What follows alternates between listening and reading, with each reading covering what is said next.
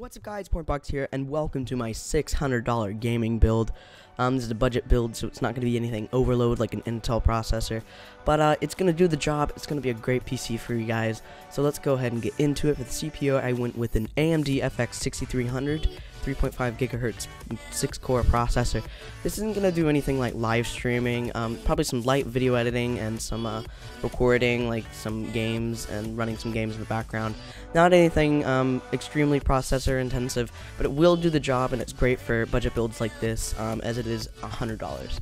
So uh, now to get to the motherboard, I went with an Asus M5A78L M USB 3 motherboard. Uh, this has four um, RAM slots, which means you can run. Um, I'll go ahead and get into the RAM in a minute, but uh, the four RAM slots, um, and uh, it's just a good motherboard for the price. It is $59 in Newegg right now, so I figured I'd put it into this build because it's a great motherboard. All Asus motherboards are great.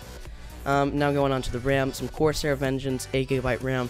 This is two sticks of 4GB RAM, so you can put two sticks into the motherboard and you'll have two RAM slots left, which means uh, you can upgrade to 8 gig or 8, sorry, 16 gigabytes of RAM anytime you want. This is some DDR3 16 megahertz um, megahertz RAM, so yeah, it's some good RAM. Um, then with the storage, I went with a Western Digital Caviar Blue, one terabyte drive, hard drive. Um, and this is a pretty fast hard drive. It's going to suit everyone well. Not as fast as an SSD. Can't put an SSD in this build because it's a budget build, of course.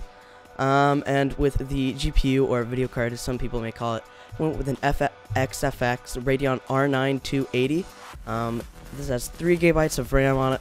Or not RAM on it, just memory. I don't know what to call it on a GPU, but um, this comes with F XFX's uh, dual dissipation uh, fans, so it has two fans on it. It's Gonna keep the mm, graphics card cool, and uh, yeah, um, with the case, I went with the Corsair Spec um, 01 Red ATX case. Um, so it's an awesome case.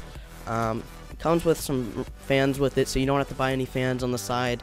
Um, and I believe there are enough uh, fan sockets or whatever you call them, fan slots. I don't really know. Fan ports on the motherboard or whatever to put um, how many fans are on this case. Um, so yeah, um, with the power supply and with an EVGA 600 watt, 80 plus bronze certified power supply. Went with a 600 watt mainly because uh, this PC can be upgraded and you won't have to um, upgrade the power supply if you wanted to upgrade um, anything else like uh, this is an AM3 plus socket motherboard, so you can go ahead and upgrade the CPU if you want to something like an FX8350 in the future if needed. And uh, yeah, you can upgrade the graphics card in the future if you need to.